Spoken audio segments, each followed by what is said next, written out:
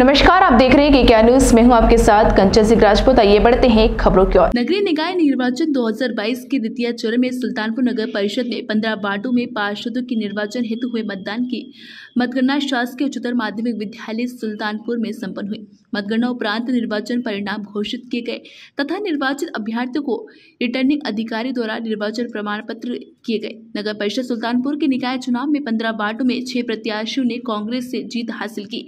वही छह प्रत्याशी भाजपा के भी जीते एवं तीन निर्दलीय प्रत्याशी ने जीत दर्ज की। वार्ड क्रमांक एक से निर्दलीय प्रत्याशी विशाल धूते जीते।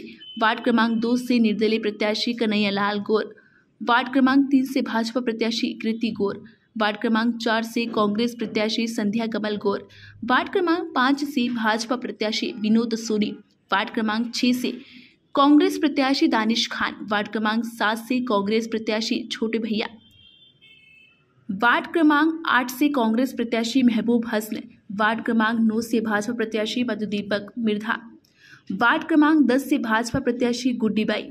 वार्ड क्रमांक ग्यारह से कांग्रेस प्रत्याशी शबनम शकील मंसूरी। वार्ड क्रमांक 12 से कांग्रेस प्रत्याशी साजिया साजिद खान।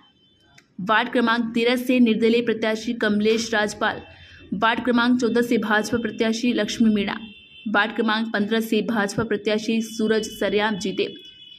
वही रिटर्निंग अधिकारी संतोष विक्टोरिया द्वारा सभी निर्वाचित अभ्यर्थियों को निर्वाचन प्रमाण पत्र प्रदान किए गए। सुल्तानपुर से सुनील चौधरी की खास रिपोर्ट। ऐसी खबरों में बने रहने के लिए हमारे चैनल को लाइक शेयर एंड सब्सक्राइब करना ना भूलें।